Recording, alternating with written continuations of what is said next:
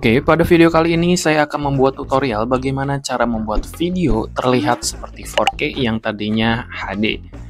Pertama-tama di sini kita sediakan terlebih dahulu dari video yang akan kita ubah. Kemudian jangan lupa kalian nyalakan pada modify. Di sini kalian nyalakan arrange layer supaya kalian lebih mudah dalam mengatur layernya. Setelah itu kalian bisa langsung pergi ke effect.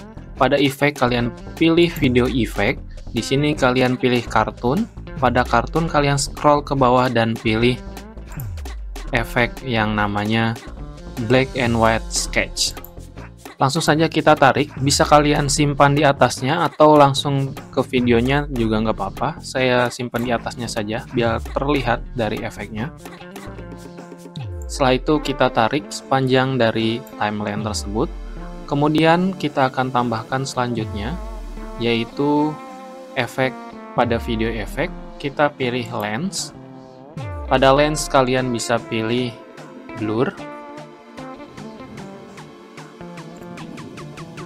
Kalian tarik aja seperti ini.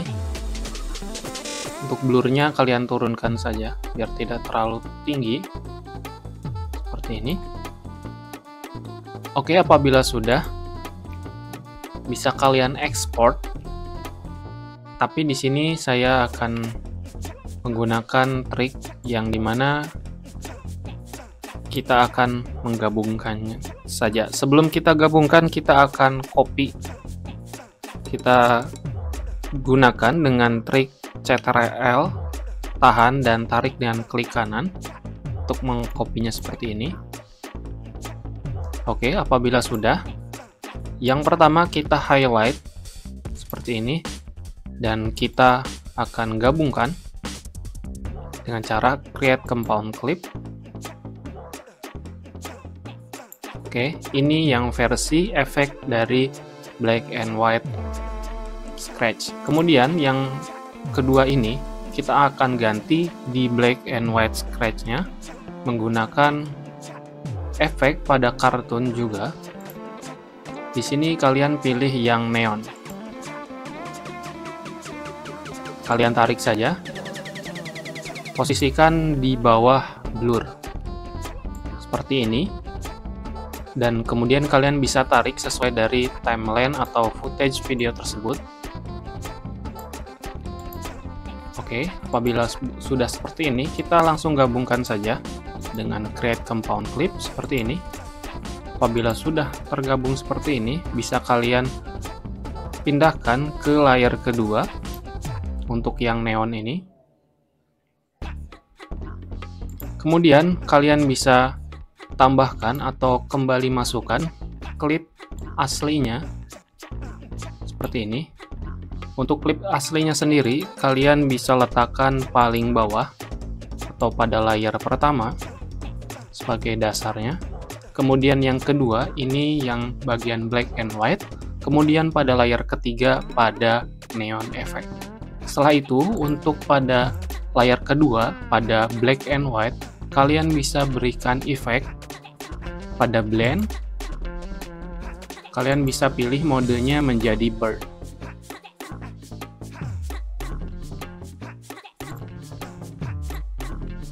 Oke, seperti ini. Dan kalian bisa ubah. Untuk percobaan kita menjadi 6%, 6 terlebih dahulu.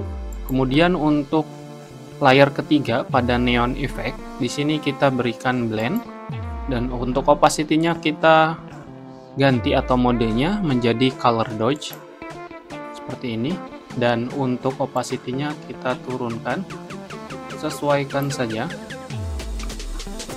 Di sini karena kurang bagus kita akan balik lagi ke bagian yang layar kedua. Kita turunkan opacity-nya seperti ini jadi kita akan adjust saja supaya lebih bagus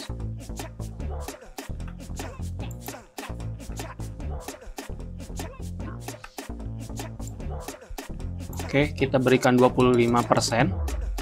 Kemudian untuk neonnya, kita balik lagi.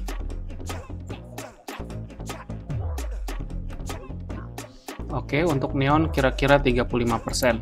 Setelah itu di tahap terakhir kita pergi ke adjustment.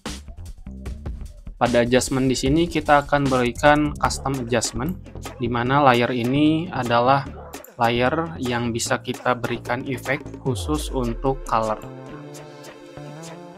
Apabila sudah, di sini masih kita klik ya. Kita pergi ke bagian kanan di atas bisa ke basicnya. Kemudian kita bisa atur di bagian sharpen-nya.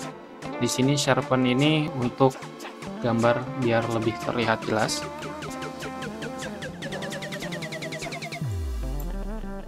Oke, sudah kita naikkan.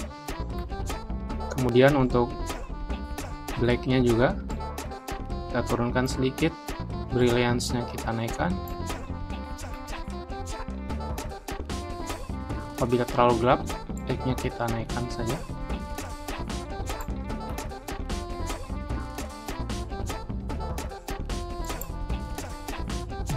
kemudian jangan lupa untuk menaikkan dari kontrasnya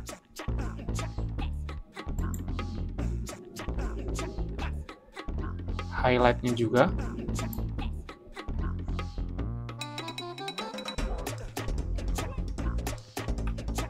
Untuk exposure kita naikkan sedikit saja. Oke, apabila sudah, langsung saja kita export. Di sini kita resolusinya ubah menjadi 4K saja. Dan untuk FPS kita tidak ubah supaya tidak patah-patah dan langsung saja kita export.